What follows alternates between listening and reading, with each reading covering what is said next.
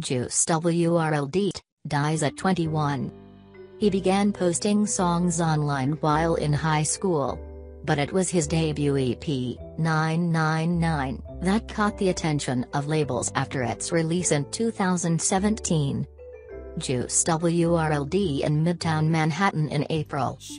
Juice WRLD in Midtown Manhattan in April. Credit. Christopher Lee for the New York Times.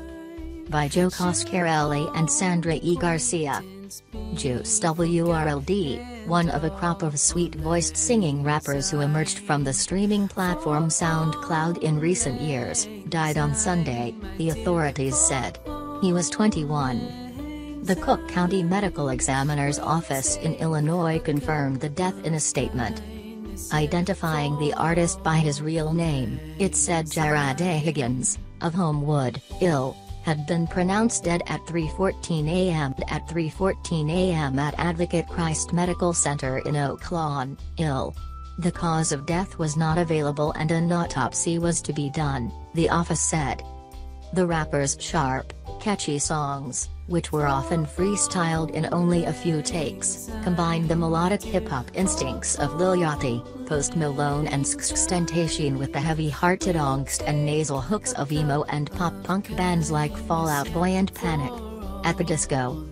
I've always been different, he told the New York Times last year.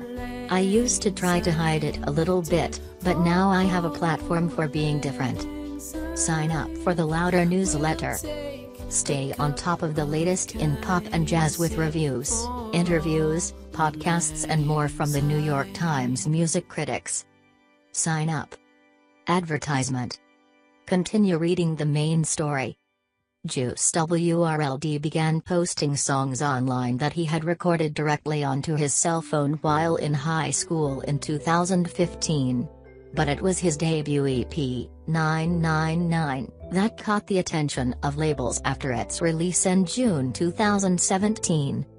After All Girls Are the Same, his breakout breakup song, All This Jealousy and Agony That I Sit in slash I'm a Jealous Boy, really feel like John Lennon, took off on SoundCloud, he was signed to Interscope Records at age 19.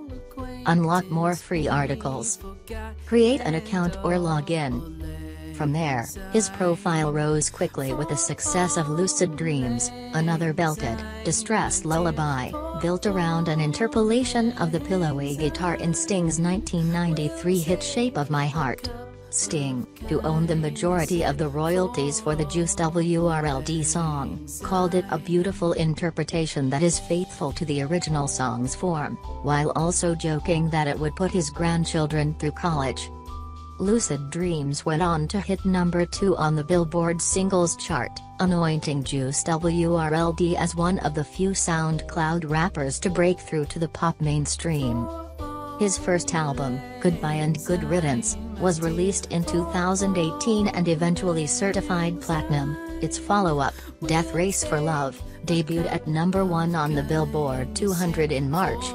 In between, he released WRLD on Drugs, a collaborative mixtape with the rapper Future, a stylistic forebear who seemed glad to pass the torch. Editor's Picks A charming Swiss home that respects, and reimagines, the past. Josie Rubio, 42, dies, road of dating while terminally ill. My So Caring Life.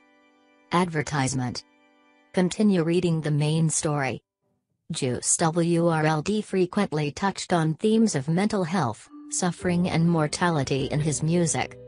In June 2018, following the deaths of two of his musical contemporaries, XXXTentacion and Lil Peep, he released a two-track EP online titled Too Soon, including the song Legends, in which he sang, They tell me ma be a legend, I don't want that title now slash cause all the legends seem to die out. Fellow rappers and collaborators expressed their shock on social media. Chance the rapper called Juice WRLD a young legend on Twitter.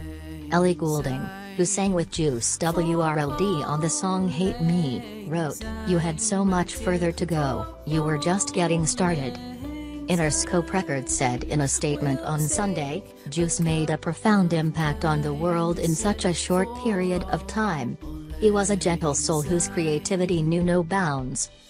Jarad A. Higgins was born in Chicago on December 2, 1998.